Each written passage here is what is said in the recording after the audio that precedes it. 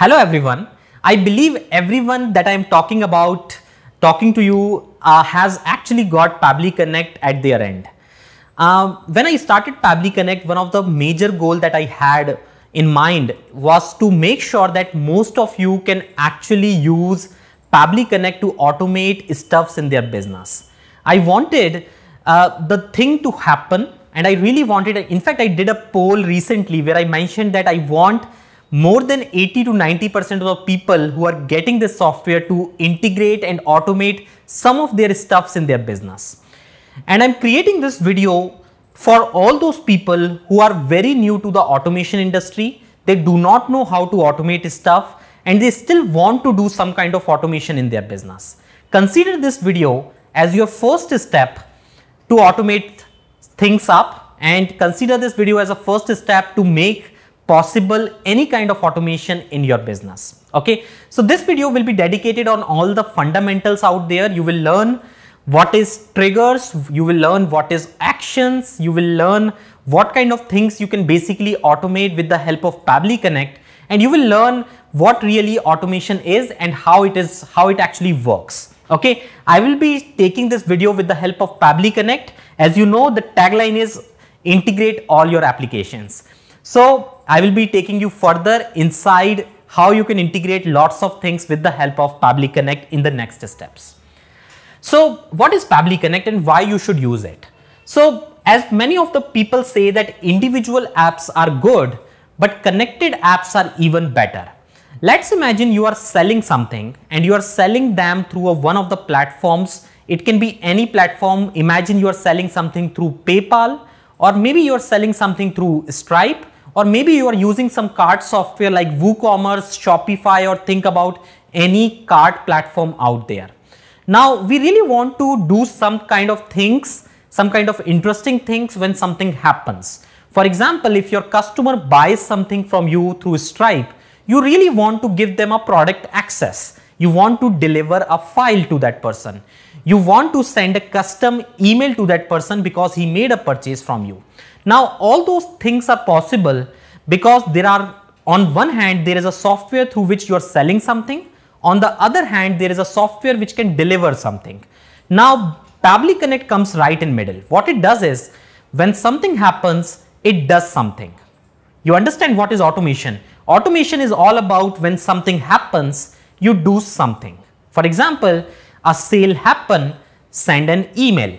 If a sale happen, send a file if a sale happen, SMS this person, okay? Send him a SMS message, call him, do something when something happens. So automation softwares work on a very simple concepts of triggers and actions. When something happens inside one software, do this through some other software and Pabbly Connect or the automation software comes right in middle where they get data from somewhere and based on that data, they process that data internally and then they send the data to some other application to do some other stuff. Okay. So individual apps are good, but connected apps are even better. Next, how Pabbly Connect works? It works on the basis of triggers, which means if something happens, actions do this. Now, there can be tons and hundreds of triggers and there can be tons and hundreds of actions in different possible applications. And Pabbly Connect can basically connect and bind all those applications together because it can do stuff in so many different platforms that you can you, that you can't even imagine. Let me give you an example. I was recently I was I actually went to purchase something in a local grocery store. As soon as I completed the payment, I was doing the payment through a card. As soon as I completed that payment, there was a speaker right on top of that uh, grocery store. It started to blare out. It started saying, thank you for your payment of 500 rupees. Now, because I'm in India, we use uh, rupee here. So it's suddenly said that thank you for purchasing uh, this product for 500 rupees. Now you can imagine on one hand, I am purchasing something and the transaction is happening in one software or the one application. But on the other hand, a speaker is blaring up that thank you for your purchase. Now, how, do, how does that speaker get to know that the purchase has been made in this specific context? And that is where the Pabbly Connect like softwares comes in, where they get data from one end and then they transfer that data to other software telling them, hey, you need to do this, right? And you need to do something. Now, I will give you some examples of triggers and I will also give you examples of some actions because this is a fundamental video uh, on automation you will really learn what is triggers, what is actions and how you can use them in your business. So there are multiple examples of triggers. A few of the examples are mentioned here. I actually added four examples right here. The very first example is when a customer purchases something from Stripe. Now, although I mentioned Stripe right here, but imagine it can be just about any cart software out here. So when someone purchases something from you, that is actually a event that is happening. Now when an event happens, you can tell that it's a trigger because if someone purchases something from you through one software, it is a trigger event and you want to do something after that. So the trigger event is something that happens and based on that happening, you want to do something, right? So the happening part is triggers because it's an event that happens. It's a trigger part and the action part is something which you really want to do after that event has taken place. Okay, so triggers and actions, triggers and actions. The next thing is when a form submission happens on Pabbly Form Builder or imagine it can be just about any form builder. It can be Google Form, it can be Wufoo, it can be JotForm, it can be Pabbly Form Builder whenever someone submits a form. Because whenever someone submits a form, again, it is an event that happens because a form submission has just taken place. And you can take the step uh, you can take any action step that you want. Once the form is submitted, you can send an email to that person. Once the form is submitted, you can add that and register that person inside a webinar. So again, this is a trigger step when the form is submitted. The next is when a new payment comes on Thrivecart. Again, if you are not selling something through Stripe or PayPal, you can still use some card platform which happens to be a middleman even before Stripe and PayPal. So if you are selling something to a card platform like WooCommerce, Shopify or Thrivecart, you can again get an event of purchase and based on that event, you can do lots and lots of things. When a new person books an appointment, again, if you have a booking software, if you ask people to book an appointment with you, you might be using softwares like Calendly, you might be using some other booking software but uh, again, a trigger event is when someone books an event or appointment with you. Based on that appointment, you can again register a call with someone, you can book a call in a different software, you can do X number of actions. But again, when something happens is trigger. So always remember trigger is something when something happens in some software. Action is something that you really want to do after something happens. Okay. So I, I hope you understood what triggers is. The next step is, uh, and in fact, I'll just go back once. The next step is all about actions. So I, I still have few examples of actions mentioned right here.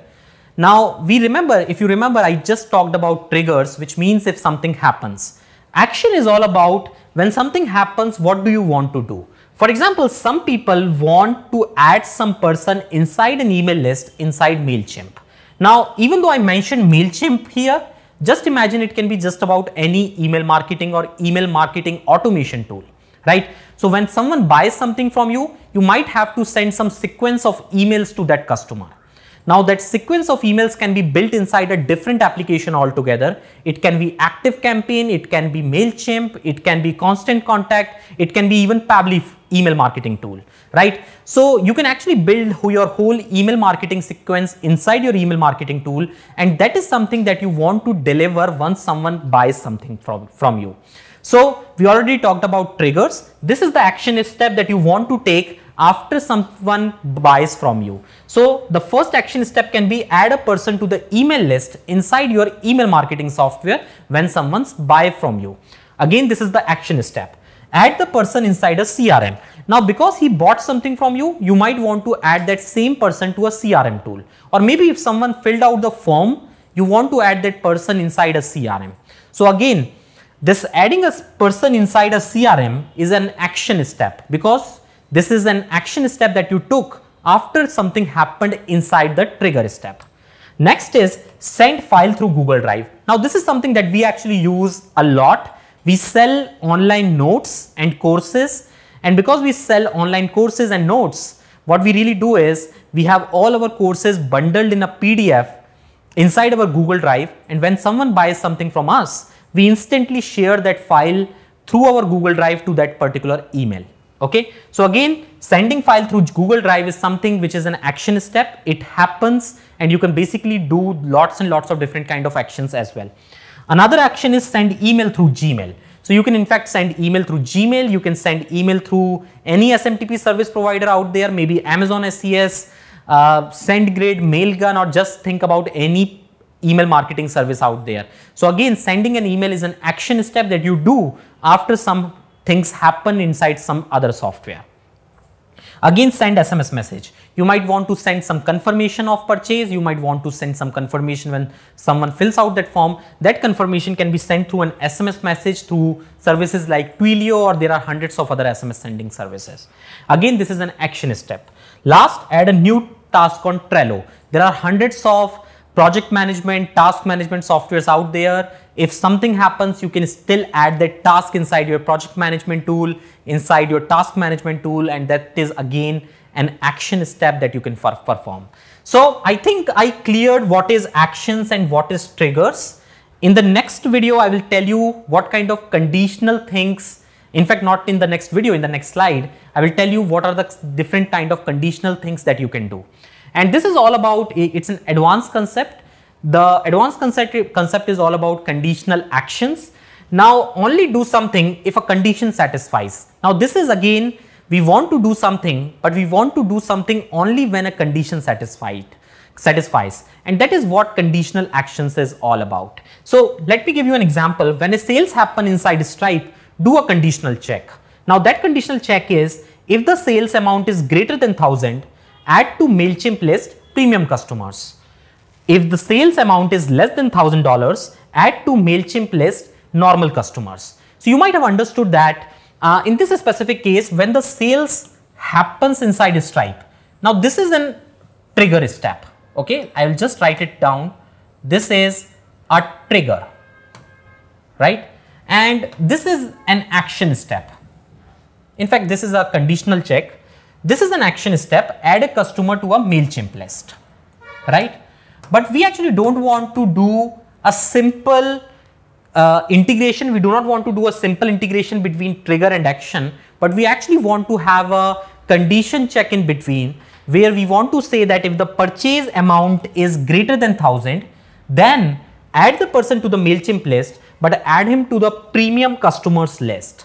And if the amount is less than 1000, add the same person to MailChimp list, but add them to a normal customers list. Again, it seems like an advanced concept, but software like uh, Pabbly Connect really makes it very easy to set up these conditions. Okay, so don't even worry about, don't even bother about how these things will happen because we actually make it very, very simple for you to do those kind of things.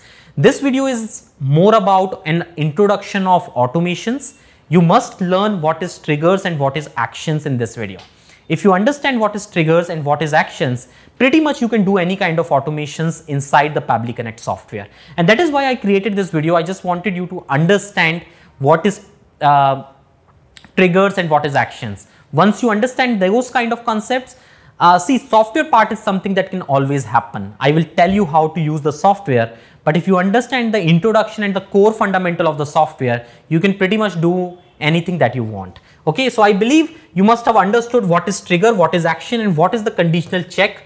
The conditional check is that if the amount is greater than 1000, add the person to the MailChimp list, but add him to the premium customer list.